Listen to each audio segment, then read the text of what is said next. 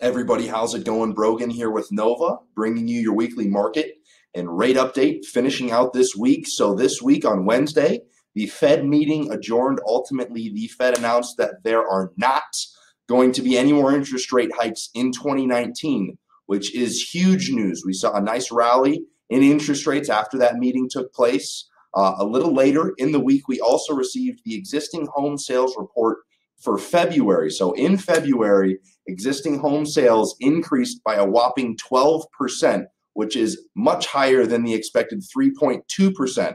So all of these indicators or all of these uh, reports are pointing towards uh, a good and strong home buying season in spring, which we've said in previous videos. So if you guys need anything at all, please do not hesitate to reach out 520 609 5761 is my cell phone. Hope you have the best week Look forward to speaking with you soon. Thank you.